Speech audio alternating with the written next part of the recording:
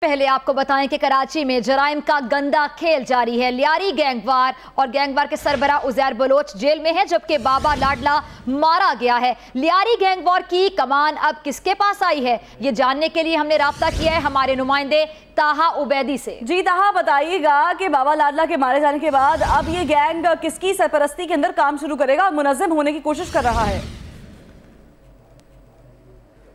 جی لیاری گینگوار کی کمانڈ اب تبدیل ہونا شروع ہو گئی ہے۔ عزیر بلوچ کو دبئی سے گرفتار کیا گیا تھا۔ ان دنوں وہ جیل میں ہے جبکہ رینجر سے مقابلے میں گینگ وار کا اہم کردار بابا لاڈلا مارا گیا ہے۔ اب ظاہر لاڈلا جو کہ بابا لاڈلا کا سگا بھائی ہے، اسے کمانڈ دینے کا فیصلہ کیا گیا ہے اور بابا لاڈلا ایک سے دو روز میں لیاری گینگ وار کی کمانڈ سنبھالیں گے۔ ابھی فی الحال بابا لاڈلا کے جو قریبی ساتھی ہیں، انہوں نے یہ تمام تر کمانڈ سنبھال لی ہے خاص طور پہ بابا لاڈلا کا جو ہیڈ کوارٹر تھا، دبئی چوک، وہاں پہ گینگ وار کے کارندے پہنچنا شروع ہو گئے۔ اب یہ فیصلہ کیا گیا ہے کہ گینگ وار کا جو اہم کمانڈر ہے زاہد لاڈلا، جو کہ بابا لاڈلا کا سگا بھائی، اسے یہ تمام تر کمانڈ دے دی جائے گی۔ اس کے علاوہ عزیر جان بلوچ کے جو قریبی ساتھی ہیں، جس میں جمیل چنگا، حسن لالا اور اس کے علاوہ دیگر جو گینگ وار کے کارندے ہیں، وہ عزیر بلوچ کا گروپ دیکھیں گے۔ دونوں میں ابھی تک صلح صفائی نہیں ہوئی ہے۔ جو لیاری گینگ وار کی بزرگ کمیٹی ہے، وہ دونوں کے درمیان صلح صفائی کرانے کی کوششیں کر رہی ہے۔ لیکن جو ہمارے ذرائع ہیں، وہ اس چیز کی تصدیق کر رہے ہیں کہ بابا لاڈلا کا جو قریبی ساتھی ہے، جس کا سلم عرف شیبوز کا نام ہے ہے، وہ جو ہے صلح صفائی کے فیصلے کو نہیں مان رہا، جس کے پیش نظر اب یہ کمانڈ جو ہے زاہد لاڈلہ کو دینے کا فیصلہ کیا گیا ہے، جبکہ عزیر جان بلوچ کی جو کمانڈ ہے، وہ حسن لالہ کو دینے کا فیصلہ کیا گیا ہے۔ ایک سے دو روز میں یہ تمام تر فیصلے ہو جائیں گے اور غفار ذکری جو کہ لیاری گینگ وار کا اہم کردار ہے، وہ کراچی آپریشن کے بعد سے بلوچستان میں روپوش ہے۔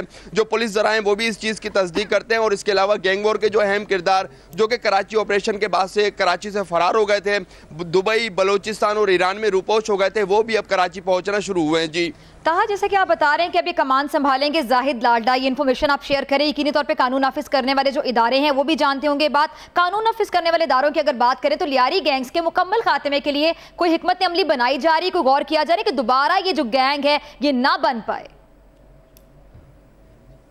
یہ بالکل، سب سے زیادہ رینجرز کے جو چھاپا مار کاروائیاں تھیں، وہ لیاری کے ہی علاقے میں تھیں۔ اس کے علاوہ پولیس کی جانب سے بھی پیدر میں لیاری کے علاقے میں مقابلے ہوئے ہیں، جس میں دو سو سے زائد لیاری گینگ وار کے جو کمانڈر ہیں، وہ ہلاک ہو چکے ہیں۔ اب رینجرز سے مقابلے میں لیاری گینگ وار کا جو اہم کردار تھا، بابا لاڈلا، وہ بھی مارا گیا ہے۔ لیکن ابھی تک جو لیاری گینگ وار کے جو اہم کردار ہیں، جس میں حسن لالا ہے، یوسف پٹھان ہے اس کے علاوہ جمیل چنگا ہے، زاہد لاڈلا ہے، اس کے علاوہ جو دیگر قریبی ساتھی ہیں، عزیر جان بلوچ کے، جس میں استاد تاجو کا نام سر فہرست ہے۔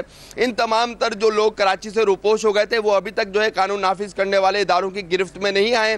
البتہ بابا لاڈلا کراچی میں مارا گیا اس کا قریبی ساتھی سلم اور سکو جو ہے وہ بھی مارا گیا لیکن اس کے باوجود بھی گینگ وار کے کارندے ابھی بھی لیاری میں موجود ہیں اور ابھی بھی وہ اپنی تمام تر کاروائیاں جاری رکھے ہوئے ہیں۔ جو کراچی آپریشن کے بعد روپوش ہو گئے تھے شہر کے جی، مختلف بہت شکریہ تاہا عبیدی آپ نے ہمیں تفصیلات سے آگاہ کیا۔